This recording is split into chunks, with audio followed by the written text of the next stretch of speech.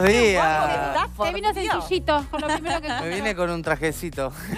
Hay que tener personalidad para meterse ese traje, Mil. Yo, la verdad que Es- no sé cómo haces. toda la onda. Toda la onda. Carlita lo hizo. Carlita lo hizo en 24 horas. Estamos grabando la máscara y este es uno de los ¿cómo outfits de, de uno de los programas. Bueno, y hablando de quién es la máscara, ¿cómo, ¿cómo te va llevando el papel de investigador? ¿Cómo ves el éxito impresionante que tiene este Yo- programa? Yo nunca me imaginé que iba, o sea, sí sabíamos que iba a ir bien, pero nunca tan bien. O sea, realmente, chicos, la gente me para en la calle preguntándome y diciéndome, ¿Quién che? Mir, qué bolazo dijiste.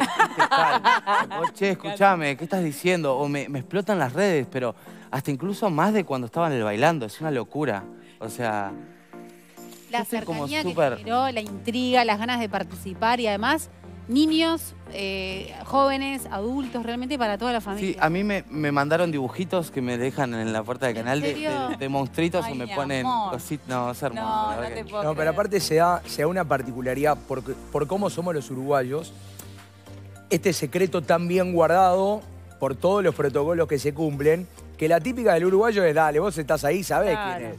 Les No nos quieras engañar. Claro, les cuesta creer que verdaderamente ni nosotros ni vos que sos, estás en la cocina, realmente no sabés quién, entra- quién está atrás de cada máscara. No, no, no, no sabemos nada, ni siquiera nuestra familia. Mi mamá, me acuerdo del primer programa cuando lo vimos, estaba mi mamá y mi padre, tipo, rebardeándose de que no, no te das cuenta que dijo esto. Y yo por dentro decía, pa, están tan errados. y yo dejaba que se pelearan ellos, ¿viste? no Pero, decir nada. decía, no, que, que Cristian Castro no, no, no. Y al final dijo, eh, mamá dice, no, puede ser Cristian Castro. Y yo decía, ay, se dio cuenta. Pero no, no creo que esté en la- detrás de una máscara Cristian Castro. Y al final cuando se dio cuenta, te dije. mamá. Divino. Nada más como dice Lu, que captó la atención de, de todas las generaciones. Digo, la otra vez estaba mirando, bueno, siempre es tendencia en, en- Twitter. en las redes sociales, es impresionante. Y había una jovencita que decía, somos de la generación de la ansiedad y la tele nos trae este programa que tenemos que esperar una semana para ver quién es el nuevo de la máscara, Una ¿no? es una impresionante. locura. Sí, una sí. locura. Y los que aparecen realmente son grosos de verdad, dijera mi amigo el Fata. ¿eh? ¿Y, y cómo te encontrás vos en este nuevo rol? Y es, es extraño, pero a la vez eh, soy una persona que me gusta aprender. Entonces eh, tengo gente tan grosa al lado, como son el Fata, Patti, Sofi, Maxi. Maxi es una cosa Maxi es increíble. Y también el equipo de producción, es como que te, te cuidan mucho y, y- y estoy aprendiendo mucho, ¿viste? Es muy, o sea, ustedes están acostumbrados porque están hace años, pero es muy salado estar en un programa en donde te estén todo el tiempo hablando y vos hablando al mismo tiempo. No, y a. Landívar le encanta hablarte, además. Claro, Landívar Es de los que le gusta comerte la oreja. Claro, entonces es difícil, ¿viste? Es difícil. Cra, Gustavo, pero ¿viste? Yo ya Sabe no le mucho creo de nada. televisión y Miente bueno, mucho él. Y- y- Es muy mentiroso. Y de la show, verdad. ¿no? De eso, de generar un show. Claro, claro. Y como que de a poco me fui como armando mi personaje. O sea, soy yo, pero como, como mostrarme mi 100, ¿viste? Como no, no sé, eso me hace, me hace sentir como en casa. O sea, ¿Y cómo seguís con la comunicación con tus fans, con los que te siguen en las redes? yo Eh, siempre digo que el- el- el- la palabra fans me da como que yo no soy una persona como, no sé, Ricky Martin. Me da como esas personas que me apoyan. Con este movimiento nuevo, que nada, yo el año, es un sueño para mí el, proyecto nuevo que en realidad eh, estamos ahora. O sea, venimos hace un año y medio trabajando. El año pasado yo firmé contrato con Warner. Soy el primer bailarín en firmar con un sello discográfico. Entonces la idea es, ustedes vieron que, que esto yo he venido muchas veces acá y como que siempre el bailarín es, es como un relleno. El bailarín es como la persona que ayuda a que, por ejemplo, hoy en día los TikTokers son como el, el- el 90% de que el tema sea conocido. Entonces en este caso sería como el artista, yo haciendo música con el artista y que yo, el fit mío no es cantado, sino que es bailado con mis bailarines. Entonces es como yo promocionar mi propia música, ¿se entiende? Claro, es como algo que nunca pasó y que realmente me da orgullo poder hacerlo. Eh, me da mucha, mucha emoción. Salimos hoy a las 7 de la tarde, así que estén atentos ahí porque también sale el baile. ¿Cómo, cómo Eh. fue ese, ese encuentro con Agus Padilla con el tema de, de trabajar juntos? Y en realidad ¿Era la primera vez que trabajaban juntos? No, no, no, decidimos hacerlo como por primera vez porque somos uruguayos y porque también ella cumplió su sueño de, de- de cantar hace cinco años, que fue la telonera de Daddy Yankee, y yo con ella cumplí mi sueño de poder coreografiar la telonería. Entonces era como todo hermoso, ¿viste? Y un día nos sentamos y dijimos, ciclo. Claro, ha- hagamos algo. Y empezó ella a escribir el tema y, y yo empecé como a ponerle como golpes, así. Fue como súper genuino, natural. Y también con el otro productor que, que- que estuvo haciéndolo y escribiéndolo con ella. Y bueno, y le dimos, o sea, de verdad, miren la producción. No, llevamos a todos los bailarines de Ayman de acá, del estudio de Liceo Álvarez, a Argentina a grabar. Estuvimos tres días full ensayando, 12 horas, y eso lo grabamos en 15 horas. Me acuerdo que ese día yo estoy teniendo unos problemas de bruxismo, me dolía muchísimo la mandíbula y yo estaba, no había podido dormir. A las 5 de la mañana comenzamos a grabar con Ripari y terminamos a las 9 de la noche. Qué locura. Y salió increíble. ¿Cómo fue, contá los entretelones, desde que te llaman de Warner para presentarte la idea hasta que realmente se hace efectiva? En realidad el te- proyecto te- lo había armado mi equipo. ¿Pero te sorprendió en el primer momento? ¿Dudaste, che, será real esto o no? Y en realidad no, porque lo veníamos trabajando hace tiempo con mi equipo y cuando lo presentaron como que les interesó y, y no porque Warner es una es, familia, o sea, ellos me apoyaron desde hace muchos años cuando ustedes ponían acá que reposteaban los videos, ellos estuvieron apoyándome siempre, pero sí fue un sueño que, que hasta que cuando tenía tipo al, al- al- a todos los de Warner, los más grosos, en una mesa así redonda hablándome, pero mir, esto es un... Yo estaba en un cumple, o sea, yo no entendía nada. Era como, ¿realmente sos consciente de lo que estás firmando? O sea, hasta es un antes y un después para los bailarines. Y yo como, ah, sí, tienes razón. Y cuando, no caí, pero cuando empezamos a hacerlo todo y a ver, fue, fue algo tipo, wow, qué zarpado esto.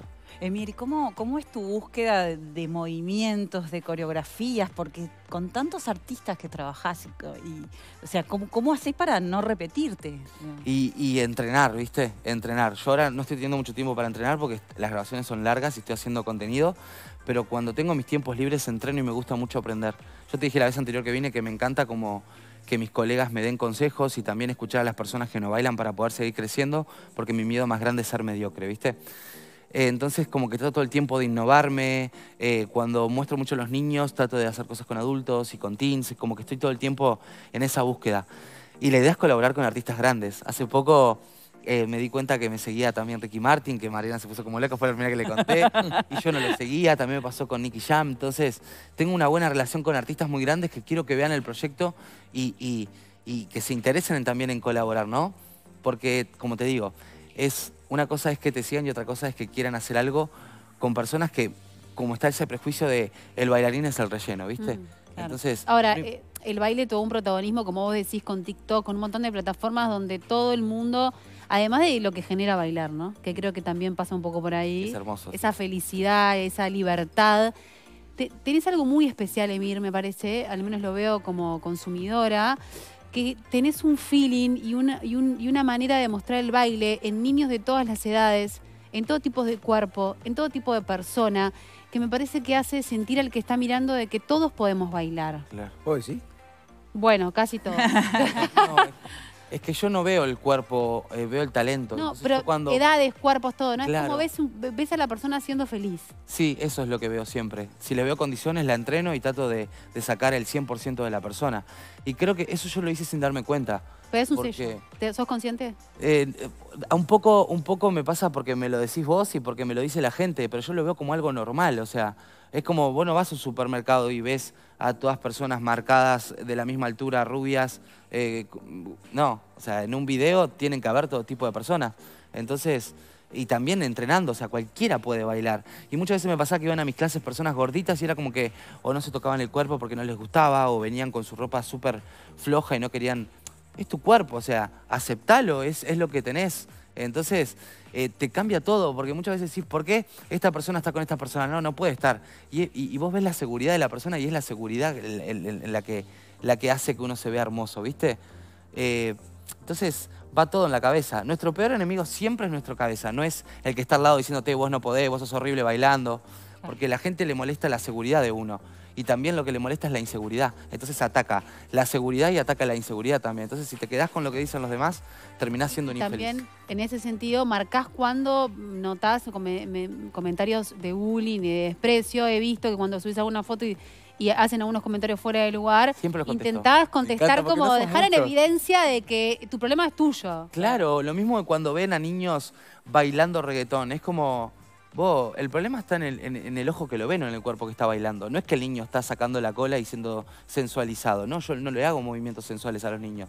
Las letras, bueno, pero yo cuando les doy clase a los niños, cuando hablan de Mario, lo que sea, les hago todo un ejemplo de que Mari le está abreviado el nombre Mariana, que no sé qué. Les hago unos chistes, los adultos se matan de risa y los niños te miran como diciendo, ah, ¿entendés a lo que voy? Porque me encanta Y jugar además la con música eso. la van a escuchar igual en la Obvio. escuela, Claro, en el- obvio. donde sea. Clara, claramente. Emir, ¿cómo sigue después tu año? Después de todo. Y yo estoy todo esto. eh, grabando el programa y los fines de semana estoy viajando. Tenemos una gira con el tour de este año, que vamos a estar por eh, Marruecos, Italia, Francia, Wow. España, Paraguay, Puerto Rico.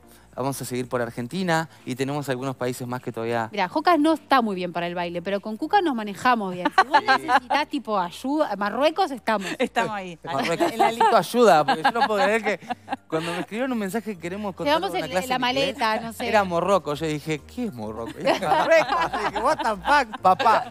Papá debe estar orgulloso de mí, seguro. Sin duda, Obvio. estamos todos orgullosos de vos, así que te agradecemos. Gracias por la buena onda, me siento como en casa, me va a dar mucha tristeza, espero no poder llorar cuando se grabe el último programa porque es hermoso sentirse acá como en casa, cuidados, tanto a vos cuando te veo en vestuario, a vos también, a vos eh, te he visto pocas veces, pero no tengo mucho dato, pero ellas las, la- la- les tengo un aprecio muy grande, también la gente de producción. No quiero ponerme boludo, pero posta es hermoso el, el ambiente que se genera acá y si decidí trabajar en este canal fue porque siempre me trataron como en casa. Divina, Emir. Gracias. Divino. Genio. Bueno, muy bien, y ahora momento de...